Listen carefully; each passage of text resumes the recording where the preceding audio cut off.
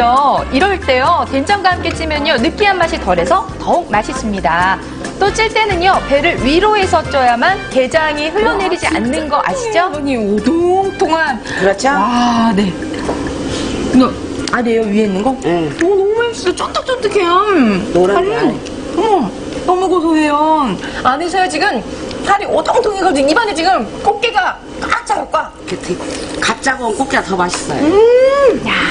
탕 먹었고 이제는 어떤 요리인가요? 네, 바로바로 꽃게 무침인데요. 무침. 자, 여기에도요, 비법이 있더라고요. 어머니 아니 요리하시다 마시고 지금 또 네. 기분 좋아서 또 한 잔 하시려고 안 돼요 안 돼요 아유, 방송이에요. 한 잔 먹어야 돼, 먹어야 되는데요. 왜요, 어머니? 먹는 게 아니고, 여기에는 대명예만한 비법이야. 아, 소주를? 조금만 더 넣으셔요. 네. 색깔도 지금 오, 네, 엄청 꽃게 좋아요. 무침할 때요, 이렇게 술을 살짝 넣어주면 꽃게 특유의 비린내를 잡아주기 때문에요, 더 새콤달콤해질 수 있는데요. 거기에 손맛까지 더해지면요. 그냥 정성 야.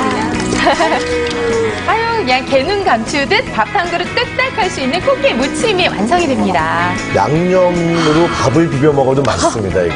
밥 생각났어요 네. 지금. 막 지은 밥. 오 꽉 차 있네요, 저. 저걸 입으로 후루룩 넣어야 되는데 이걸 참 보고만 있으려니까. 아, 지금요, 꽃게 하나로 이렇게 푸짐한 한상이 떡 차려졌어요. 네, 환절기에요. 입맛 없다는 분들 많으시죠? 맛이 어떠세요? 네, 얼른 이 꽃게로 영양도 잡고 입맛도 찾으세요. 오 정말 보기, 보면 볼수록 커요. 꽃게가. 아, 참 맛있다. 꽃게 진짜 터질터질한 게 아주 너무 맛있네요. 네, 그런데 잠깐 드실 때요 주의하실 게 있습니다. 이 꽃게는요, 네. 그때 사계절 이렇게 다 먹어도 맛은 있는데, 이거하고 궁합이 안 맞는 게 있어요. 궁합이 꽃게랑 안 맞는 게 있어요? 네. 뭐예요? 그러니까 미꾸라지하고 꿀하고 굴하고 네 그거하고만 같이 가- 다 같으면 먹어서 좋은데 섞어서만 함께 같이만 먹지 말라는 거죠. 아 이제야 꽃게 더 맛있게 먹을 수 있을 것 같습니다. 네, 맛있는 음식 먹으면요 기분 좋아지잖아요. 꽃게 풍년인 김포에서 바닷바람도 쐬고 갓 잡아 싱싱한 꽃게로 기분 전환하는 건 어떨까요? 좋죠?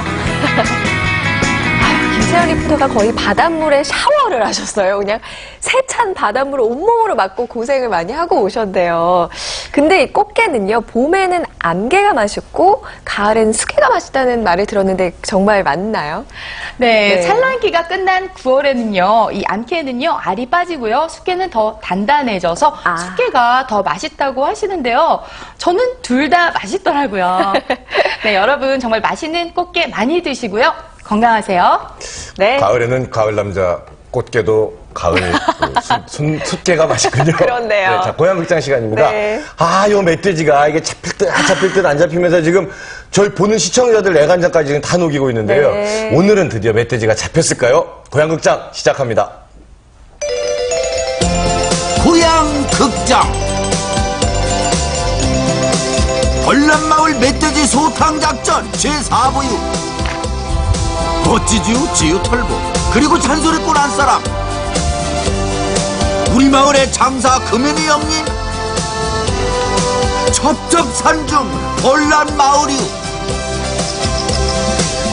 멧돼지가 나왔어, 멧돼지. 여기다 술만 한 겨놈 버놓으면은 이 자식들이 들어가가지고 술 처먹고 못 나온다니까 마을을 온통 쑥대밭으로 만든 멧돼지 가만 안 둘겨 살이 kokkok거 이겠냐? 형! 형! 고라니 있다 고라니 움직이잖아 고라니도 못 잡는데 이 멧돼지는 어쩔겨 홍천에서 이렇게 가면 일로 들어간다는 얘기야 그러면 형은 여기서 쏘면 되고 알았어? 작전이 이해가 가? 돼지야 돼지야 어디 있냐 나하고 놀자. 한나절 산을 쑤시고 다녔더니 땀이 흐르네 흘러. 마누라 없이 혼자 사는 양반.